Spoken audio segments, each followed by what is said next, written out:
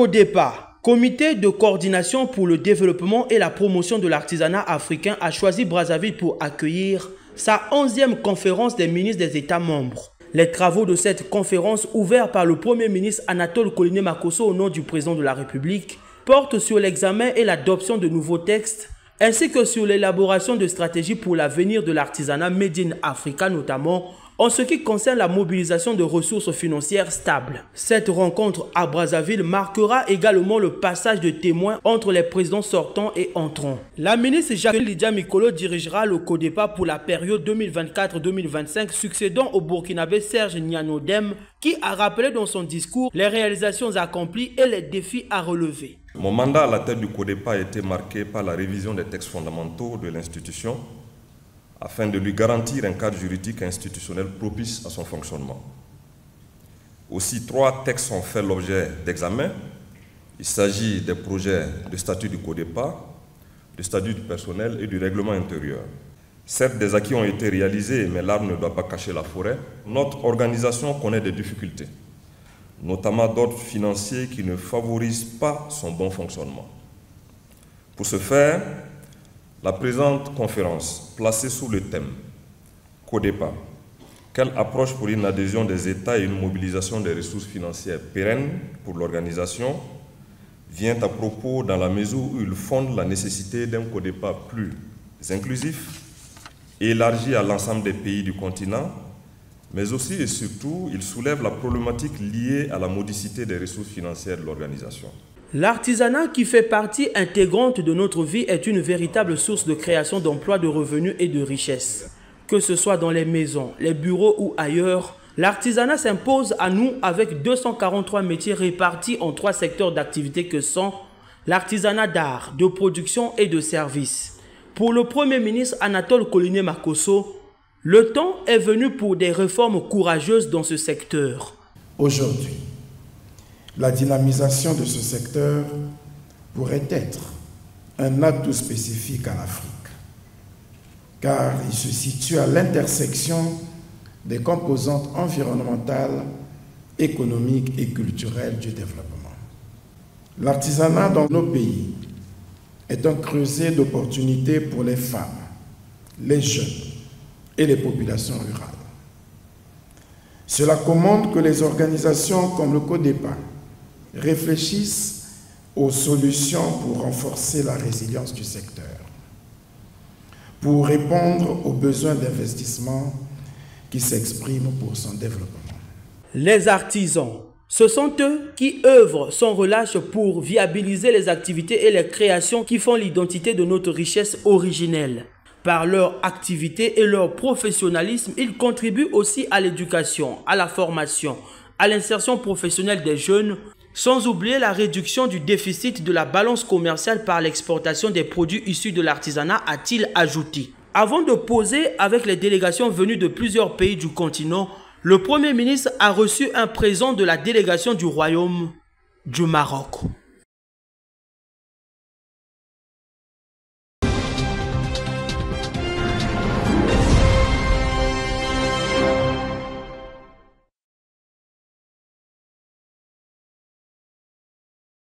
Ils ont été reçus par le ministre en charge de l'enseignement général à quelques jours de leur départ pour l'Afrique du Sud.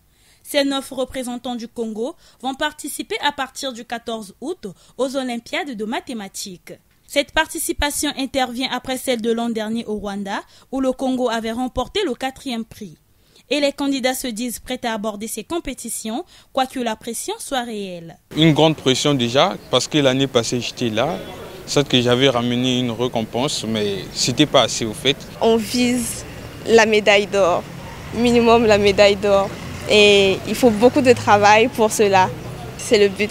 Personnellement, je me suis beaucoup préparée et je ne cesse de me préparer d'ailleurs, puisque ce n'est pas encore arrivé. Jean-Luc Moutou y voit un accompagnement du gouvernement Aussi exhorte-t-il les candidats à une participation active à ces Olympiades. Nous essayons de promouvoir de plus en plus les, bonnes graines, d'accompagner euh, des esprits euh, éveillés euh, et de faire en sorte justement que ceux qui veulent s'élever par l'effort, comme on dit dans sous d'autres cieux, et qui puissent bénéficier à la fois de notre encadrement, de notre accompagnement, de notre soutien, pour vous permettre vous aussi d'exceller, de vous faire un chemin, de vous développer et d'aller plus loin et en dépassant le maître. Ces apprenants dont l'âge varie entre 18 et 20 ans ont été sélectionnés dans les lycées depuis mars pour affronter d'autres mathématiciens africains.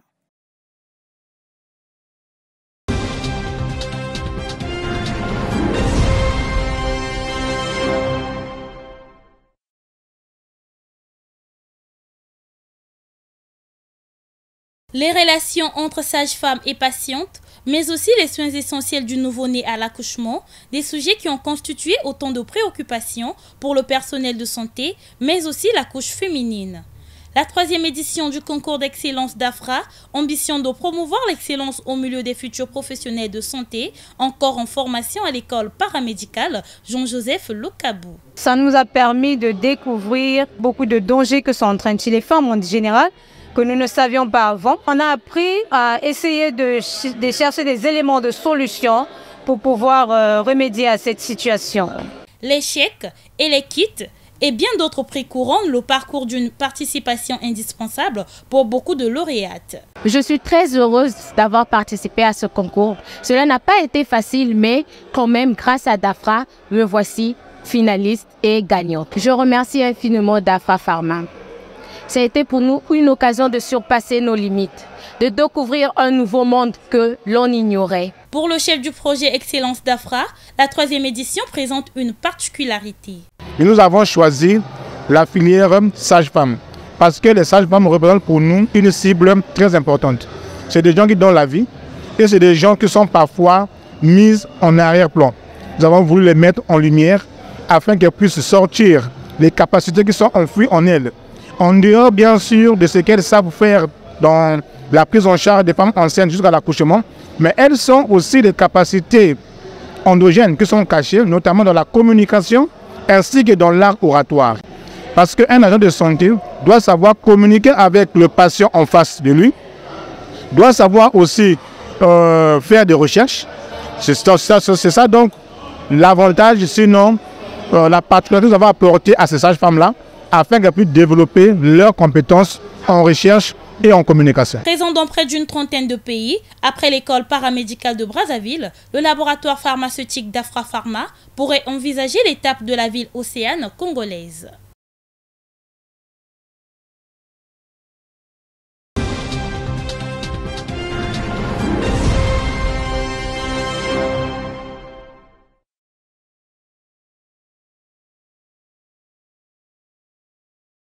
Les cantines scolaires étaient au cœur de cet échange entre Jean-Luc Moutou et le représentant du PAM au Congo.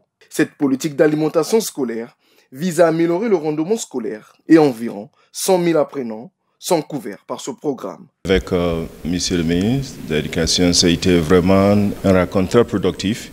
Euh, il faut qu'on passe par une cantine scolaire qui est dépendante de la nourriture qui vient dans le pays, d'utiliser la nourriture d'ici.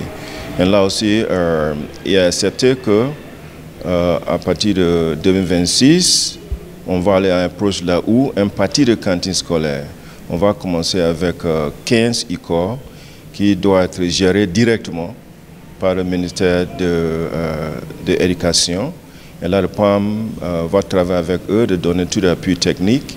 et là, éventuellement, en fur et mesure, on va augmenter l'engagement direct euh, de l'État euh, de gérer ces cantines scolaires. Cet entretien intervient dans un contexte où le Congo s'apprête à assurer la gestion des cantines scolaires avec l'accompagnement du programme alimentaire mondial. L'agence onusienne entend procéder au transfert des compétences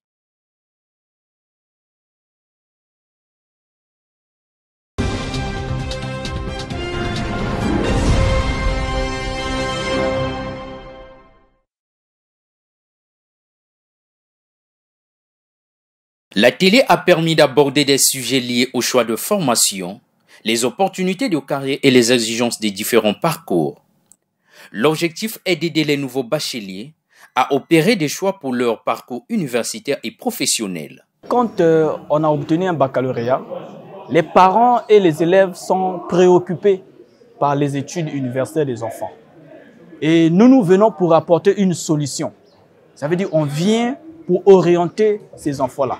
Donc les parents peuvent nous contacter par le réseau des leaders et des associations des universitaires du Congo pour qu'on accompagne leurs enfants à la réussite, pour éviter que les enfants puissent mal choisir les filières et connaître plusieurs échecs à l'université, pour autant dire même échouer euh, dans leur vie. Des moments d'échange et parfois des petits débats avec les professionnels, mais qui au fond ont marqué les nouveaux bacheliers. Je suis content d'abord parce que il y a de cela euh, un moment, j'ai obtenu mon bac, mais je ne savais pas quoi faire et j'étais un peu désorienté. Cet atelier me permet tout d'abord d'avoir des informations plus précises sur des branches ainsi que des domaines précis sur lesquels je peux étudier et apprendre. Et cela me permet aussi d'avoir plus d'informations précises sur ce que je peux faire peut-être plus tard. Pour beaucoup d'étudiants, la télé a apporté une meilleure connaissance sur l'univers universitaire et professionnel.